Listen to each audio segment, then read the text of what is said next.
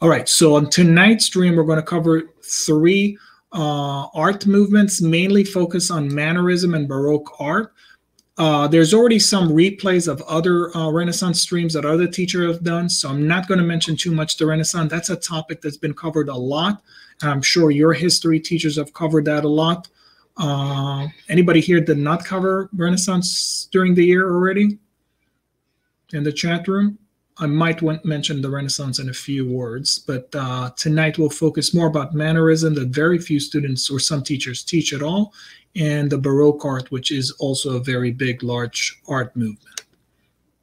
So let's start with the Renaissance, okay? The Italian Renaissance, the course, our course, the AP Europe course starts in 1450, and this year it ends in 1914 or World War One. So why did they drop us in 1450? Kind of like the invention of the printing press or the height of the Renaissance. So uh, when we talk about the Italian Renaissance, by the way, does anyone recognize any of these images on the screen? Let's say you get this in the test, they'll probably tell you the name of the artist. Anyone recognize? Of course, that's the famous Mona Lisa. Very good. Anything else? Mona Lisa painted by anyone? Da Vinci, Leonardo da Vinci, very well. So the Renaissance is kind of like the art that is known for like for the first time, if you want to start, the course starts with Renaissance, the first time you're trying to depict people in a realistic sense. Most of art up to like modern art is basically trying to capture uh, accuracy, trying to get closer to uh, realistic viewpoint of people. In the center here, we have the statue of uh, Michelangelo, the Pieta, the Mother of Christ holding uh, Christ. And here we, on the right side, we have the Duomo, the dome in um, in Florence, which is like the first like standing huge dome that was built during the Renaissance. And again, for a thousand years, nobody can know how to build a big dome. They all collapsed. They didn't have this knowledge going back to antiquity. So again, Renaissance is a rebirth going back to the classics of Rome and uh, Greek uh, sculpture and architecture and writings. That was all about in the Renaissance, and it's all about perfection. Most famous, one of the most famous painting, the School of Athens by Raphael, uh, kind of depicts, you know, all the classic themes of Renaissance painting. We have here. Anyone knows any kind of characteristic of Renaissance? What did you study in the Renaissance? Renaissance is famous for what? If you had an essay about it, you need to give outside evidence to depict the Renaissance. What are the most famous key elements of the Renaissance? Anyone?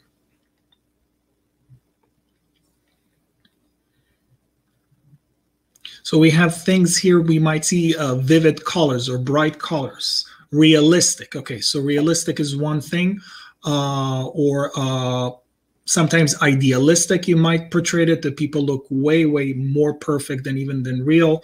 Bright colors single uh, point perspective very good perspective is another famous things of the renaissance. So it seems like you see there's one group of people over here there's another group of people over here and then like we can see all the way in the back. So how do i get that? I create an element of perspective. It seems layered. So before this painting was painted they probably raphael drew lines to see this is the first part it's the second part this is the third part. So it gives uh, a feeling that these guys are way further up than these guys, even though he painted on the same level. So that's a single point perspective that is created by the Renaissance. So Renaissance is like really, really amazing, beautiful art. So when we talked about kind of the characteristics of the Renaissance, we're going to talk about realism. Uh, for the first time, people look real more or anatomically correct uh, perspective, bright colors, realistic movements, and anatomy. The human anatomy of this painting looks a lot more real than the anatomy of, you know, if you looked at any the most of the art in the Middle Ages, people like that doesn't look like a human body. They actually excavated some of these artists, like Leonardo, Leonardo da Vinci, excavated bodies to see how they physically look to really, really get the accuracy. Anyone recognize this statue over here? Who is this? Who's the most famous uh, sculptor of the Renaissance? Guy standing over here. So this is the famous Michelangelo did this. This is the famous David by Michelangelo. We're also talking about a nude statue, and we're also talking about kind of like uh, anatom. Uh, the anatomy is correct, and he's kind of like portrayed like as a Roman god. And again, we're talking about the Renaissance. Renaissance means a rebirth. A rebirth of what? Of interest in the classics, such as the Greeks and the Romans, and they excavated a lot of these old statues in Italy during the Renaissance and started to look at these and this art and they said, wow, this is beautiful. Side note, interestingly enough, because a lot of these statues were, you know, under the ground or like buried for a long time. When they came out, a lot of them were just white. So most artists have said, oh, they must have done it in the old days all white. So we should do it exactly the same way. But in reality, a lot of this art was painted. The paint just came off. So classic, what they understood as being classic a lot of times is statues or images being completely white. Another classic example of perfection and beauty is, again, Raphael's probably does the best like Renaissance uh, art painting. Uh, you see the beautiful, vivid colors of the Madonna uh, in the meadow with the like beautiful colors, red, blue. We can see behind is very, very re relaxed, very serene. And when we do compare and contrast, we're going to see Baroque has a lot of tension and mannerism is very a lot more darker. So this is the ideal time of the Renaissance. Okay. So that's pretty much, you know, in the Renaissance, you probably studied that a lot more. So I'm not going to go too much about the Renaissance, but it's idealistic, beautiful images. That's the beginning of our course. We're talking about looking back to Greek and Roman times, and we're trying to portray people in a positive way. Some of the paintings have a Christian themes in them, but some of it have more of like uh, looking into Greek and Roman uh, historical saint or classical things like uh, like Venus and so forth. So let's talk about mannerism. Okay, so Renaissance means rebirth. So the next art movement that pops up after the Renaissance around 1527, which is some people would call it late Renaissance. So some people still consider the new art movement as a part of the Renaissance. So the name derived from students or people who really, really admired Michelangelo and Raphael, their followers. So they painted in the manner of Raphael and the manner of Michelangelo. So that's what the term, the style, the term mannerism uh, came for.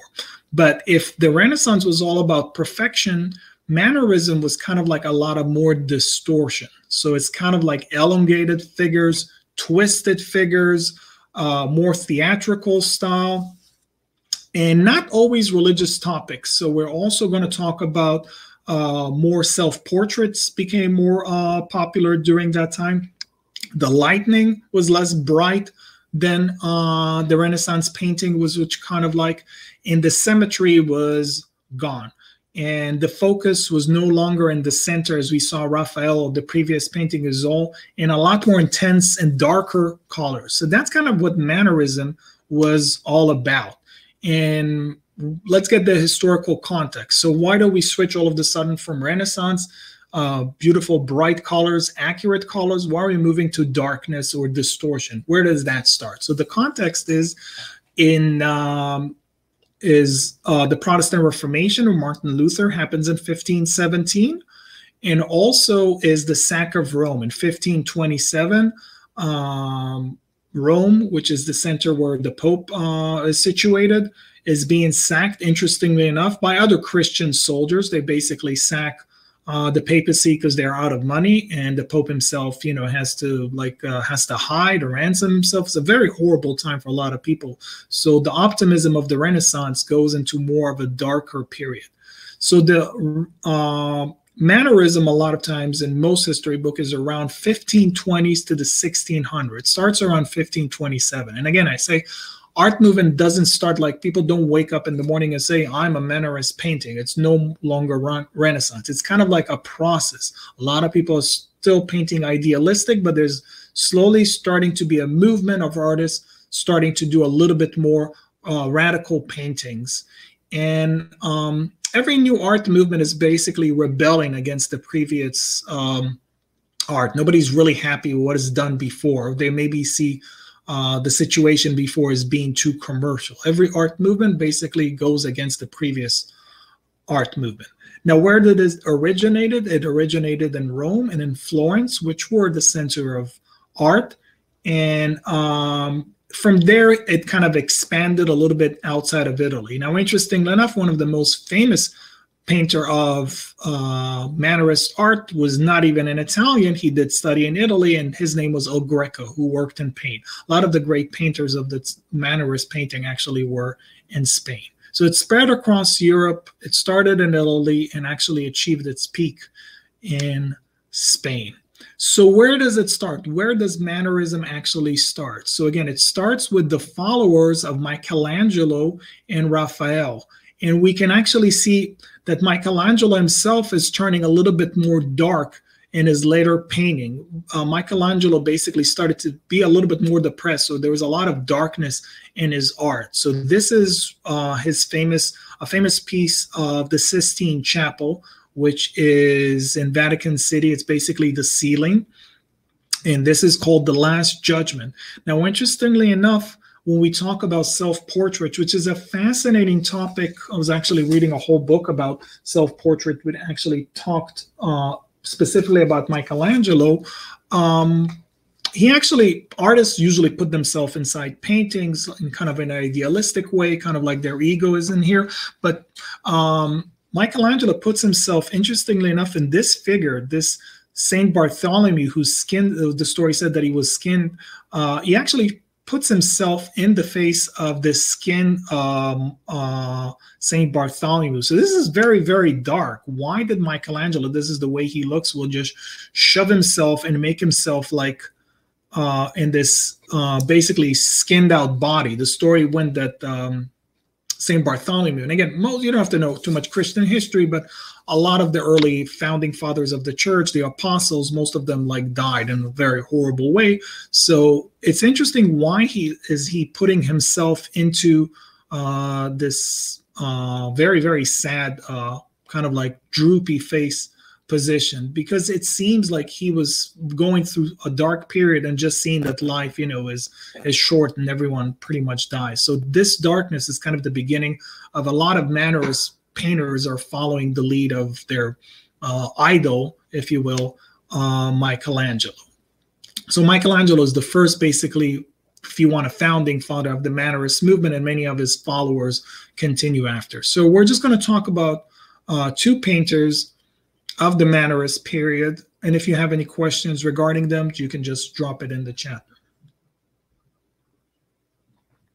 So the first famous artist is Parmigianino, uh, if I said his name uh, correctly, which basically translate the little one from Parma. A lot of these artists kind of like some of them have a nickname, so they're more known for their nick nickname. Like El Greco means the Greek. Sometimes you have a complicated name and you just end up using your um, your short name like Botticelli, which like means like little barrel, but you know, who's gonna go around and call somebody today little barrel? But anyway, uh, so Parmigianino came from Parma in Italy, which is not the center of art in Italy. And uh, interesting enough, he was raised by his mother. His father died when he was young, and his uh, two uncles, and all of them were involved in the painting industry. So he actually got trained by his uncle. So he basically grew up in a family of painters.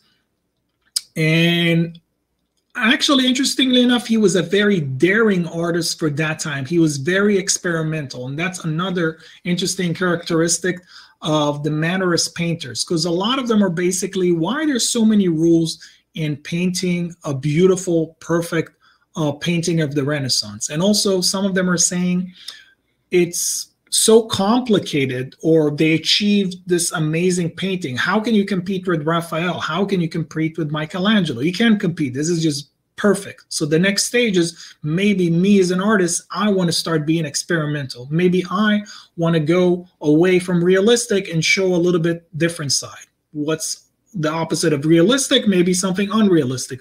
What's the opposite of like ideal beauty? Maybe I'm going to go with something a little bit more uh, brutal. So he was a very daring artist who was willing to try to do uh, different things. And during his life, uh, Giorgio Vasari is our main primary sources to the life of many of these artists. He was a low level painter himself, but he wrote uh, like a very very famous book called the biographies of all the major artists so that's for the first time we know all the background stories of all the greatest artists of the time so he basically said that parmigianino was celebrated as a raphael reborn kind of looked like raphael some people said and he painted in the style of Raphael. He was also actually known, if we're going to go about looks, he was known as the most uh, beautiful painter of the time. That's what he was saying. I don't know. Anyone look at this painting? Does he look like the most beautiful painter you ever seen? Thumbs up, thumbs down. I'll show you another painting. No. Okay. Nobody liking. Anybody else? Parmigianino? Yes. No. Just one person. Um, and later in life, also, we know that he really got into the study of alchemy, and some people have speculated that you know he probably mixed the wrong um, uh, chemicals and probably die or smell a lot of that stuff. So we don't know if that's the case about that situation. But you know what? Also, I looked at one of his painting. He looked very, very similar to me to Arya Stark. Anyone see the similarity? Am I the only one who's seen the similarity? Yes, thumbs up like Arya Stark, thumbs down Arya Stark. Or I don't even know who Arya Stark is. Game of Thrones, anyone? Doesn't he look like her? Anyway, not seeing the connection. He looked like Arya Stark to me. That's what I saw. Anyway, so thumbs up. Okay, some people are seeing the connection. I actually, when I first uh, saw her in Game of Thrones, I was like, she looks very familiar. Like, I, it took me like a, a, year until I was like, she looks like Parmigianino. And I actually looked it up online to see if anybody else saw the connection between them. And I think she posted or somebody posted that there are actually somebody else. Uh, that there is similarity between them. I was like, I knew it. I'm not imagining. There's a little Arya Stark in them. But anyway, he was like written about a lot about his beauty. And uh, Vasari wrote that uh, Francisco was beautiful and had a very graceful features, more like an angel than a human being. So that kind of like goes to show like this guy was considered like, you know, other than an amazing painter, he was considered like one of the best looking artists of the time.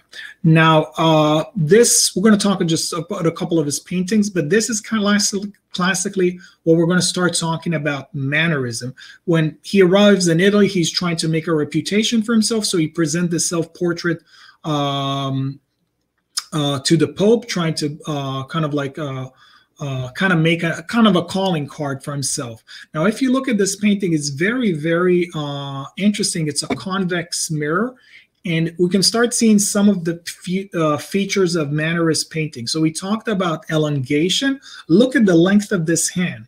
I mean, if I put my hand in a situation like this, I mean, it looks like in a normal way, but his hand looks super, super long. So that's one of the key feature of mannerism that elongation, certain things look really, really long, not realistic. But again, this is a beautiful painting. Look at the crispiness. He's showing a lot of talent uh, in this painting basically to say, look, I can like do a self-portrait of myself and I can kind of curve it a little bit. So this is not a flat painting, it's kind of curved. So I have the skill to do uh, something like that. We can also see the gray colors from behind. So yes, it's realistic, kind of like the Renaissance, but the hand is very, very long and it's not really realistic. The background is really, really the grays. There's a lot of grays and yellows in uh, Mannerist art. So I personally think this is a beautiful uh, painting. It shows a lot of skills. And he did this only like in 21. Very, very impressive. Now, I thought I had another Mannerist painting. Okay, here's another one that we're going to talk about. Another famous uh, painting, probably like the most famous painting when people want to explain what mannerism is all about, is the Madonna and the long neck. Now, look at this painting over here. So some people are saying like yuck, like compared to if we do like Raphael, the beautiful Madonna.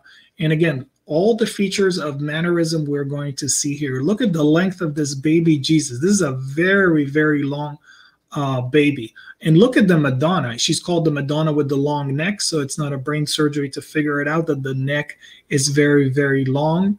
The leg is very, very long. So you just take this usually compressed Madonna and you just kind of stretch her up and everything is super, super long. Look at this length. And then also behind, very, very interesting here. I don't know, we have this long column here. This person is super, super short way behind. Did everyone see this? So it's kind of like what is going on in this painting. So this is what we're talking about. Uh, Parmigianino is very, very experimental. What is he? What is he doing here? He's taking the Madonna that we've seen, like in thousands of painting, all idealistic and beautiful, and now he's taking it, kind of stretching her out. And you can also see that the the baby Jesus is like slipping down, almost like falling down. So it's kind of like another thing is about the tension and this art that is coming around. We can also see the leg is kind of curved to the side, what she's doing with the back of her foot. So kind of like all of the twisted figures, that's a part of mannerism. Elongation is another thing that we're going to see. The hand, a lot of times if you're going to see a painting, if you have to, to know if it's Mannerist or or Renaissance, the hands, the fingers are always long. That's another key feature of the Renaissance art. So the Madonna and the long neck, kind of like probably the most popular painting to show what mannerism is. Are we doing okay? Can everyone hear me loud and clear? And again, if I, great. So if I do a compare and contrast, here's a beautiful compare and contrast. Two different Madonnas. Raphael Madonna on the left, look at her. She's like blonde. She's outdoors in this beautiful scene. A lot of way also, you know, way to know it's Renaissance, it's always triangles. I don't know if you your teacher always taught you about Renaissance with the triangle. It's kind of like this.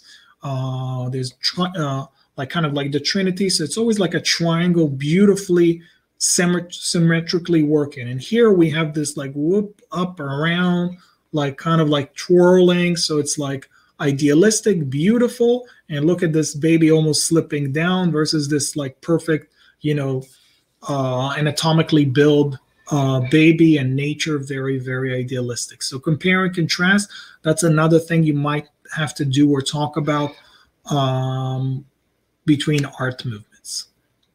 Another way we're going to compare and contrast is we have this famous uh, painting here by leonardo da vinci um, the last supper. And again how do you see a renaissance? Why is this a renaissance painting? Anyone from what we explained. What makes this a Renaissance painting?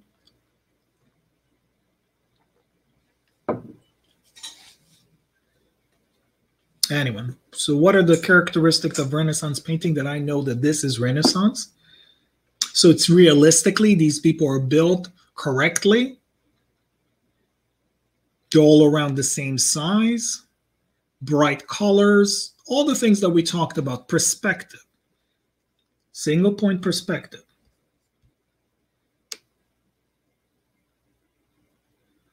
All right, so again, you can see it looks like it's going all the way in the back. So it seems like there's a lot of space going on behind here. That's perspective again. And again, Renaissance, everything is organized. Everyone is in the same line. And talking about, remember the triangle? Look it up, triangle one, triangle on Jesus. It's very, very organized. You get like everyone in groups of three. Jesus is in the center. If you measure it probably correctly, you'll see that Jesus, Jesus exactly in the center. That's all the characteristic of the Renaissance. Now, it, you, it might not see bright colors because this was also an experimental technique um, he did this uh, leonardo did this in this very new technique of fresco. He painted it quickly and dried it up so the colors just went away very very quickly from the get-go and he had to fix it throughout the years. But the, the original was a lot more brighter than this so he has a lot of bright colors. So that's kind of about leonardo. So now again if i do a compare and contrast sorry uh, another painter of the uh, of the time uh, tintoretto this is his version of the Last Supper. So anyone can tell me what the difference is between this and this is? It's the same historical thing. So what's the difference?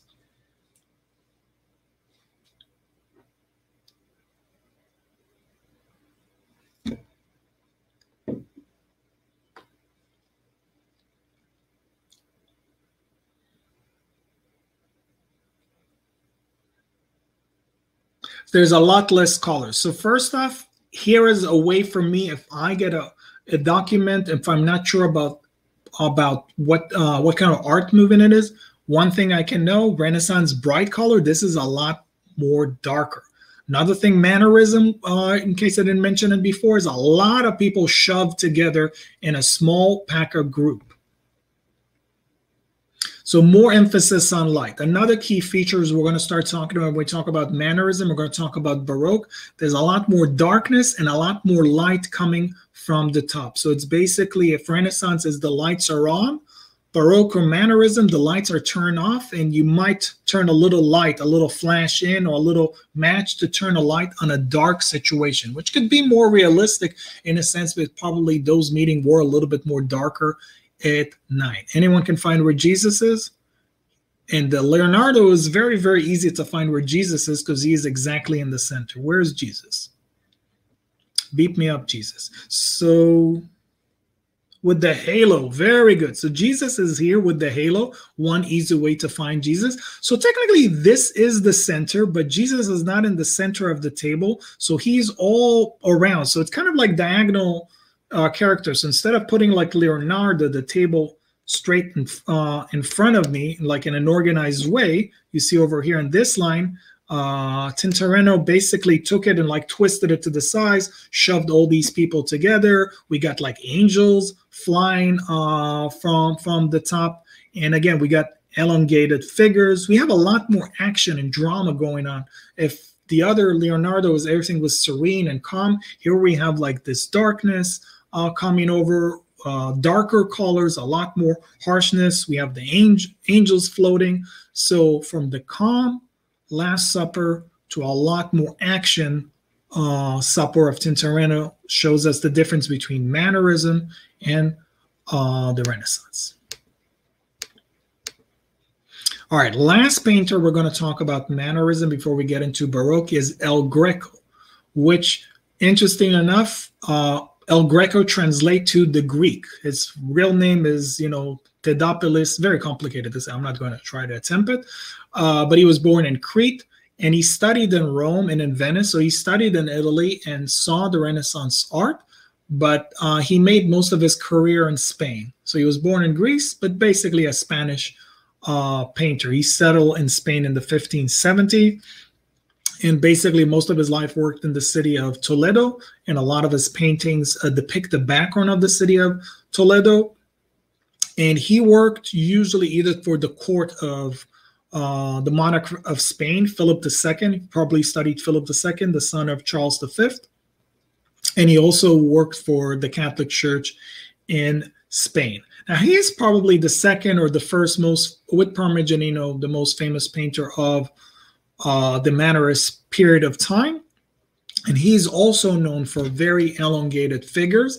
And he's also known for a lot of his painting. There's a lot of yellows and there's a lot of green. So it's kind of like in a trouble uh, grays in the background. So it's kind of like uh, uh, there's a lot more tension and a lot more emotion with darker colors. So if the Renaissance, everyone, their body was white, in in El Greco painting, a lot of the bodies are kind of like more gray, which is kind of like more of a color of like decaying or a lot more tension, like white, elegant beauty versus gray, kind of like thinking maybe death is around the corner. So this is his masterpiece. His most famous uh, painting is the uh, burial of the Count of Orgaz, which was a real person in the 14th century and the story goes that during his burial, there was like uh, a miracle that basically happened. Um, all, a lot of uh, famous historical figures all of a sudden showed up, and including Saint Stephen on the left and uh, Saint Augustine uh, on the right, the famous uh, fourth century uh, bishop. And they actually are bearing him down over here, and we've seen all this crowd of dignitaries in the back background. So the painting is divided into two parts, and the bottom is the miracle that happened in the funeral of Count Orgaz, who was uh, uh, uh, a famous person, uh, a wealthy person that um, uh, that is being commemorated. And on the top, we kind of bring all these historical. We have Jesus, we have Mary, uh, we have God. So all the action on the top. So again, how do I know this is mannerism? I have the yellows, I have the grays, a lot more darker. Also, because El Greco was born in Greece, he had the influence also of Byzantine art. Byzantine art has a lot of uh, golds uh, in it. If you guys live around, if you ever pass a Greek Orthodox church, you might see a lot of like more golden Jesus. So that's another thing that we know that is happening from over there. And interesting enough, the painting where it's located just underneath is where the grave of uh, Count Orgaz is actually located. So people look at this painting and they're like, they're looking down. They're like, wow, this this person over here is like is literally buried over here. So you can kind of see the motion of um, Saint Augustine and Saint Stephen are like bringing his body down. Like what an amazing, amazing miracle. So it's kind of like the division of like somber earth in the bottom and the uh, heaven on the top. Kind of two dimensional, two different stories in one uh, painting. And that painting got a, got a lot of attention, made him very, very famous. And he got a lot of uh, commissions for churches after this uh, amazing painting. Another thing that he did a lot, he loved to paint his town of Toledo, even though he wasn't native to Spain. He had a lot of, lot of appreciation. We see this background. Some people kind of see this as kind of like even close to Van Gogh or something like that. Very kind of like modern art, like bright, vivid colors, like kind of breaking the rules uh, the sky looks really, really beautiful in this uh, background. He really had a lot of painting. You're to see this blue in the back in many of his uh, El Greco uh, paintings.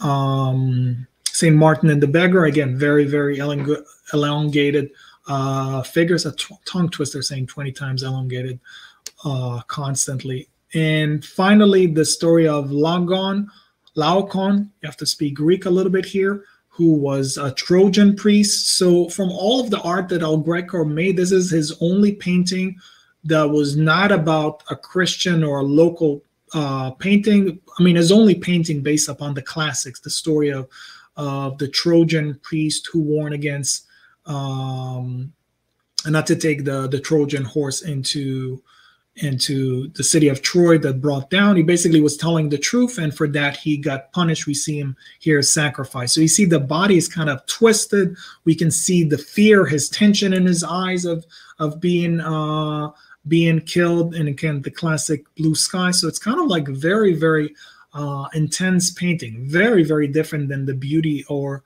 the relaxation of the Renaissance, if you will.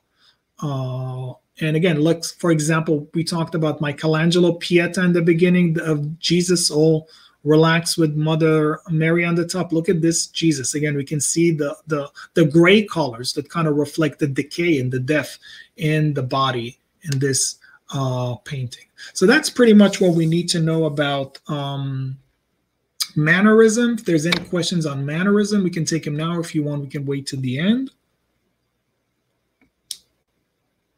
and we have one more art movement to cover today, and that's the art movement called Baroque. I have a whole stream on Baroque if you want to watch the replays and a lot more details. There's 60 minutes just on Baroque, but today we're doing a review, so we don't go into all the details. But general uh, time frame that we're going to talk about, or the term where it originated, so Baroque uh, means a flawed pearl. So just by the name, you know that it's it goes against perfection. So if you want to think about the Renaissance as a beautiful pearl, Baroque is kind of the deformed pearl. So Baroque is kind of close to Mannerism, but it's a little bit more risque and more uh, eccentric. So uh, Baroque is straight after Mannerism with a lot of influence from Mannerism from the 1600 to the 1750. Also, the origins are in Rome and Italy. So we basically all three art movements start in Italy. So that's easy to remember. Uh, Baroque is not just in painting, there's also Baroque music, there's also uh, Baroque architecture. So it's not just painting, even though we're focusing here more probably about talking about uh, painting and uh, maybe a little bit more about architecture. Why did it happen? Kind of similar to to uh, mannerism, the context is also the Reformation or the Counter Reformation. A big part of why Baroque and Mannerist art is being produced is kind of to fight back the Protestant Reformation. A lot of it is Catholic art. They're using this as a tool to fight uh, the spread of Protestantism. And uh, Baroque art is basically larger than life. It basically is out to get you. It's not supposed to be peaceful. It's supposed to kind of overpower you to make you believe or make you um, uh, connect to God. And that's what art did during that time. Remember, a lot of people uh, couldn't read and write uh, during that time. So art a lot of times was created to engage people and to make them believe, see a painting and think like, wow, like I feel the presence of God. You can't read about it, but if you see it, you might uh, feel the connection. So the context of the Baroque art movement is the Counter-Reformation that you probably already studied in class. Counter-Reformation is the attempt of the Catholic Church to fight back against the spread of Protestantism all across Europe. And in the Council of Trent, something that you need to also probably be aware of, this is where all the Catholics met together in a conference for around 18 years, talked about strategies to fight against the spread of Protestantism. One of the conclusions that they came into, or one of the decrees that they had, that art need to be available to advertise to people uh, the truth in the Catholic way. So Baroque is kind of like a propaganda tool to fight and to spread the ideals of the Catholics. So you might do a compare and contrast also if you might write an essay in the exam about the different viewpoints about Catholic versus Protestant when it comes to art. There's a completely two different POVs, point of views. Uh, Catholics see art as a thing that is great to spread the word of God, a way to connect to God, seeing the images and connecting to God. Uh, Protestants are against art, basically, because they read the Bible. One of the tenements of Martin Luther is sola scriptura, which basically says scripture alone. And it's mentioned in the Bible, thou shalt not make an idol or a statue. So Protestants don't like statues. They see them as sinful, as kind of like uh, like uh, like you're worshiping like you know like a pagan form of art. So Protestants a lot of times when the Protestant Reformation started, they smash uh, statues and painting and so forth. They say the focus should be on the Bible. So Protestants, if you go today to churches, a lot of times if you walk in, if you see a lot of statues, a lot of music and drama, it's probably in a Catholic church. It's if it's very relaxed and you don't see too much stuff around, it's probably uh, Protestant. All right, the Council of Trent, I know, was meant to reform the church, mostly just strengthen the church papacy. Well, I mean, the cat, the the Council of Trent was mainly yes to uh, to rebuild the Catholic Church. The Catholic Church needed to make some changes, not just because of the Protestant Reformation. They had a lot of uh, corruption issues. They had a lot of uh, uneducated uh, priests and so forth. So they had to clean house in that department too. But they also had to spread uh, the ideals of of uh, of Catholicism, and uh, they had to fight the Protestantism. So spread their place ideology to other places. They spread it also. They went to Africa, they went to Asia to try to spread Catholicism, and to some extent it worked because you know Catholic Catholicism is the biggest uh, Christian sect to this day, more than a billion believers. Uh, so if we do a compare and contrast between, let's say, Renaissance or Baroque, or also Renaissance versus uh, Mannerism. So again, the Renaissance art is very idealized, and uh, Baroque is not idealized uh, necessarily, but some people say maybe it's a little bit more realistic. There's more darkness in the world. Um, Baroque will capture a moment in time, something that will just happen for a specific moment. And Renaissance art is kind of um, eternal. It's like something that can happen in any time, you know. Uh, Baroque and also Mannerism is a lot more dark. There's effects of lights. Renaissance is a lot more bright and clear. I don't know if you ever went to a museum and you've seen some of the Renaissance uh, paintings, or if you ever seen a Raphael, it's so clear and crisp. You think somebody actually took a picture. You're like, wow, this this looks so real because it's so clear. You know, uh, oil painting. That's another way of uh, one of the characteristics of Renaissance painting. Um, uh, there's a lot more drama in Baroque art. There's a lot of more motion and emotions. You can see the drama, like people are like blood is coming out, people are crying. Uh, Renaissance painting usually are very calm, very relaxed. There's not too much drama going on. And finally, there's a lot of instability in Baroque or in Mannerism, kind of like that baby Jesus, Jesus almost slipping down, versus Renaissance that looks more stable, like nothing is falling down. Everyone is sitting down in a calm way, like we saw in Da Vinci uh, Last Supper. So let's just talk about a few famous painters from the Baroque art. And again, if you want to see the whole uh, Baroque stream, just go into my uh, previous uh, stream about the Baroque. Most famous of them is Caravaggio. And again, everyone's got nickname. His name really was Michelangelo. Isn't that interesting? Uh, but he got a shorter name, Caravaggio, because that's the town where he grew grew up. Um, he had a very violent uh, and confrontational lifestyle, actually even killed a person. And his action and drama in real life was reflected in his art. So he was kind of like this like creative genius, basically insane genius, if you want. But he did exactly what the Counter Reformation wanted. He created a lot of art that basically uh, made believers really, really feel something. You cannot watch in his painting and not feel something. That's exactly what the Baroque uh, celebrated. And he's kind of considered the master of the light, the person that really created an art uh, with darkness, and he knew exactly how to bring the light into the center of the painting. For example, uh, the calling of Saint Matthew that we can kind of see again two part painting over here we're seeing christ pointing into saint matthew and um, we don't see Christ actually here. We just see the hand and we see Peter.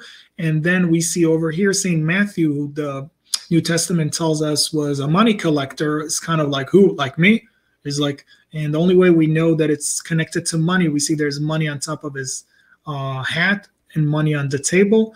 And interesting enough, also being more realistic, he took this historical event that happened in Galilee, like you know, a thousand six hundred years ago, and brought it into Italy. So another thing that Caravaggio did, he took historical figures and painted them in local places in modern Italy, and actually used uh, some of the models or some of the people, uh, people that he hung up around with. So they look they look very realistic to people. They're like, I know somebody who looks like that. So he's not making kind of like an ideal Jesus uh, necessarily or Saint Matthew from this historical time. So that's one famous painting, the calling of Saint Matthew, Jesus calling Saint Matthew. Also, across from that painting in the same church, we have the martyrdom of Saint Matthew.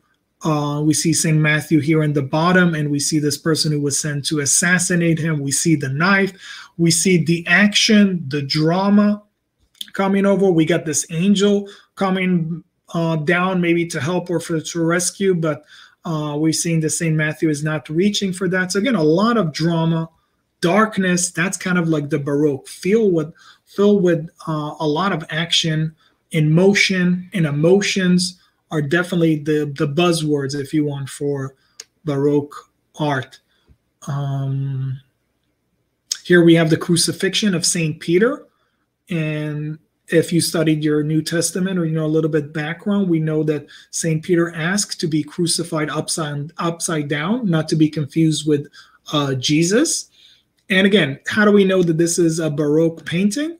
We have uh, we have motion in this painting. We have the actual process of the cross being lifted. We see three separate people. We see this guy pulling over here. We've seen this guy uh, holding the cross and this guy under getting in and lifting up. And again, it's very unstable. We might not know, maybe the cross will flip over in a certain moment. Uh, look at St. Peter, does not look idealistic over here. We can see it. He's an old man. The body, you know, shrivels up. So it's a lot of um, uh, the drama of the light. Very good. So we can kind of see the darkness and we can kind of see the light coming in and popping to uh, this situation in this uh, painting. So again if you see the darkness the drama of the light again just think about it like a movie theater. You go into the movie theater it's dark and then puff the light comes up. So how do you capture that moment and this is where Caravaggio was so good at, and many of the artists basically followed this technique with the light from him. Uh, Judith uh, beheading Holofernes. So again, we can see again the action, the drama. We're seeing like she's slashing his head. We've seen all that blood spew up. You cannot see a painting like this and just like be like whatever. If you walk in the museum and you see this stuff, it kind of draws you up. You're like, what is going on in this painting? Like Renaissance, it's calm and now it's like like blood is spilling out you know what is going on in this painting you know? I like her the way she looks at him. She's kind of like am i doing this right? I always liked like her face to look in that situation. Uh, that's also an historical story in the Bible with Judith um, uh, killing uh, like a general from the opposite side. And finally, to finish, is like uh, David and Goliath. That's another. That's a very very famous topic that a lot of Renaissance artists like to look at. But if you can see here, David does not look happy at all from basically uh, killing uh, Goliath. Uh, when again we can see the darkness, we can see the body emerges. So the focus is going straight into him, and uh, we're straight moving into the head. Now, one of the most interesting thing to blow your mind around, the guy who's Goliath head is actually self-portrait again. This is Caravaggio. Caravaggio painted himself into the head of Goliath. So he's actually going into basically, I am the villain. So I'm not going to go through the whole Caravaggio biography, but he's a very fascinating person. I highly recommend after the stream that you go and read up a little bit about him. But he got into a lot of trouble. He had to escape. He killed a person. He went into jail but he was um, he knew a lot of people connected to to the pope. He knew a lot of people in the leadership of the catholic church. So he was trying to make a comeback to go back to rome maybe uh, thinking that he's going to get like a pardon for all of his crimes. And he painted a few things. This is one of the painting that he was going to offer to a cardinal uh, or hopefully to get to the Pope is kind of like, you know, I'm sorry for what I did, basically, kind of like looking back on his actions. So, very, very interesting the whole idea of self portrait, how artists see themselves. So, we saw Michelangelo in a self portrait, and now we have Caravaggio, one of his last painting, very, very sad, painting the head of Goliath. Or maybe not sad to you, I don't know, for me. Um, Let's talk about a sculpture. A very famous sculpture of the time is Gian Lorenzo Bernini uh, who was also famous. Uh, he was a painter, he was an actor, he did a lot of things. He was a theater director, uh, but he's probably most known for being a sculptor. That that was probably his uh, claim to fame, and um, he was known from a young age. Actually, met the Pope, and also his father. Yes, Saint Teresa. Uh, Teresa Ecstasy. That's one of his most famous sculpture. Very good. I'm glad some people are uh, their teachers are teach uh, teaching similar things. Now let's look at his David. His David is very very interesting if you do a compare and contrast between this David and Michelangelo David in the beginning. Can anyone tell me the difference between this David and the Michelangelo David? The Michelangelo David that we saw in the beginning. Do I have it here? So the first Michelangelo, the first David we saw, the Renaissance David was kind of standing like Yes, his David is seems to be more moving. So this is the action. This is after he throws the stone on top of Goliath. So there's more action. There's motion. There's drama. You can kind of see his face, his his lips is kind of like, mm, like this is like the body turns around. So Michelangelo David was all like limp, just standing there, like, you know, like a model, like barely moving. And this one is a lot more action and drama. So that's, again, the difference between um, kind of like a model statue in Renaissance. Baroque is more action, motion, drama, turning the body. Interesting enough, also, he actually is covered up a little bit. So Renaissance had more nudity when we get closer to the Baroque. Uh, there's a lot more covering up. So uh, less exposure.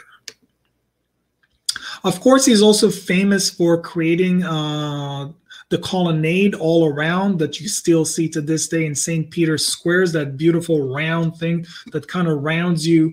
Uh, St. Peter's Squares, that design is also famous uh, for that. And as somebody mentioned, probably his most famous sculpture is the Ecstasy of St. Teresa who was very, very prominent in the Counter Reformation, which we're not talking about that. But she told the story how an angel basically uh, pierced her, like you can see with this arrow over here, and she had a physical ecstasy. Like you see her shoe drop down, and you can kind of see her body. She leans back, her mouth is opening, and look at this beautiful, like kind of like shimmering or kind of like like a waterfall behind. So if you zoom out of this thing, you can see kind of build it is like this whole theater production, and there's like rich people on the side sitting on top of like a stoop, like seeing the whole drama. Uh, sorry, more like a booth, like so. It's really, really beautiful. And again, look at the like the clove is kind of like like like the clothing are folding. This is very, very interesting, uh, beautiful artwork. Um, let's talk about a female artist. So we barely have female artists in the Renaissance. That might, uh, or during, uh, or during most of the history that we're talking about AP Europe. Why there's so little female artists during that time? Anyone can answer why there's very, very few female artists? it's still kind of a very still it's a very still like kind of like a sexist society uh, where the man is still dominated so there are very very few option for women um, uh, yeah uh, so women not necessarily they were not allowed to paint but women could not attend university. Women were expected to kind of stay home raise children. So the renaissance is just the beginning of several women starting to create starting to write but it's still rare. One thing we can generalize most female painters, usually their father was a painter, and that's one way they got into the painting industry. So, one of the most famous Italian uh, painter from that time is Artemisia Gentileschi um, that she and her father were both followers of Caravaggio. Her father actually was friends with Caravaggio, and she's the first woman to be admitted to the Academy of Fine Arts in Florence. And she actually painted all around Europe. She actually even worked for uh, Charles I of England. She worked for the Medici uh, family, and and this is a self-portrait of herself that she put it herself in a painting. Not really realistically. She was a lot heavier, but you know, she kind of like changed it up a little bit. Everyone wants to make themselves look a little bit better. Uh, she painted mainly uh, historical figures and mainly focused on women. So this is uh, Susanna and the Elders, the famous story from, uh, I think it's the book of Daniel. Check it out afterwards. I can swear on that one. Um, that the story goes that she went uh, to swim and these elders basically said we're going to tell your your husband she had sex with us or something like that. And if you don't like give us some favors and she's kind of pushing them away and later on they got punished. So he was interested in topics topics like when women are very very uh, vulnerable in that uh, situation. And this is her if you remember caravaggio before and the slaying of holofernes so she did a similar uh, painting based upon that of her uh, uh, of again of uh, of Judith and her assistants basically slaying the head of Holofernes. And the interesting story behind this painting quickly is that she was raped by one of her male teachers. Um, and it was very, very complicated issue. She had to go on a trial. She had to like, you know, uh, like uh, have some physical, like basically torture to to to uh, to make sure that she's not lying. It was a very horrible thing, and the guy basically uh, managed to, with some connection, not to serve any jail time, even though most people knew was guilty. So her revenge on him from that situation is again self-portrait. She painted him over here as the person that is head being chopped off. So it's interesting how art is becoming realistic with people taking historical events and bringing them into their art.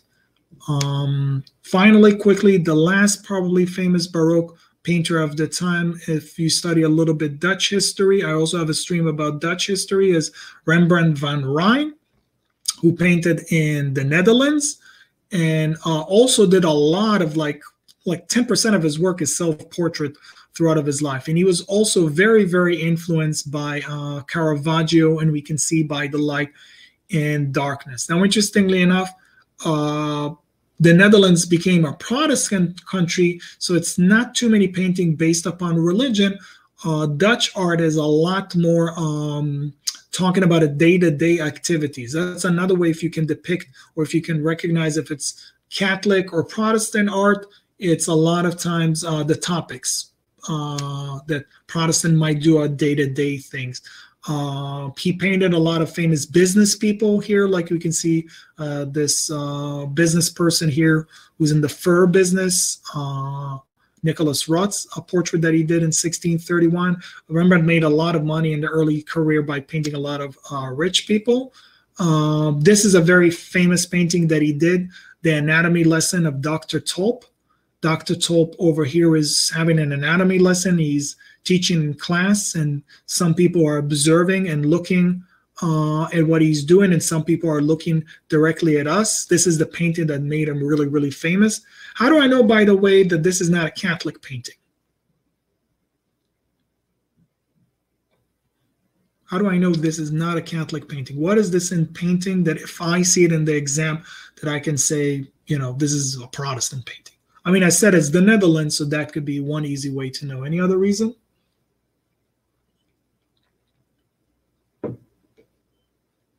One way you can see a lot of times the clothing, very, very good. The clothing. This is kind of like if you study Calvinism, this is kind of like more classic Calvinist clothing. A lot of like blacks, there a lot of times see colors, Protestant the way see what we talked about their POV about art.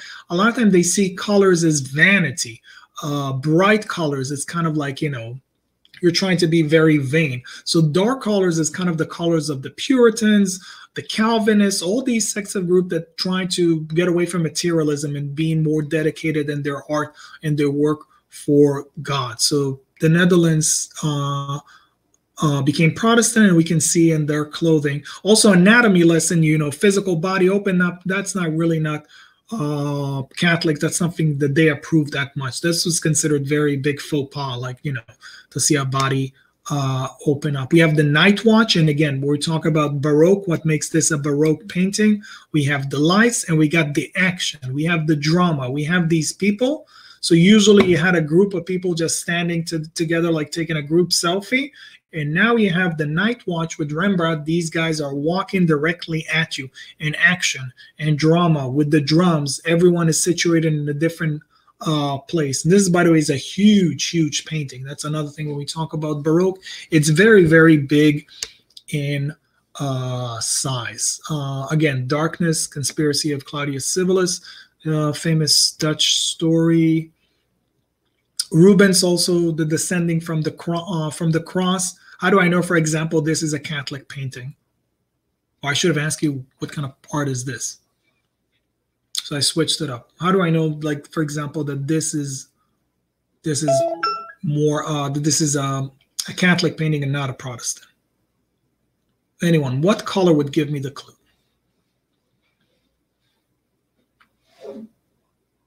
The red. Okay, so one easy way a lot of times to depict Catholic painting is red. Red is very very very Catholic. By the way, a lot of times when Catholics got executed by by Protestant, like Mary Tudor, uh, sorry, Mary Queen of Scots. You know, a lot of times their martyrdom color was all about red. You know, uh, Protestants are downers with all their black, and Catholics would like to show more vivid colors.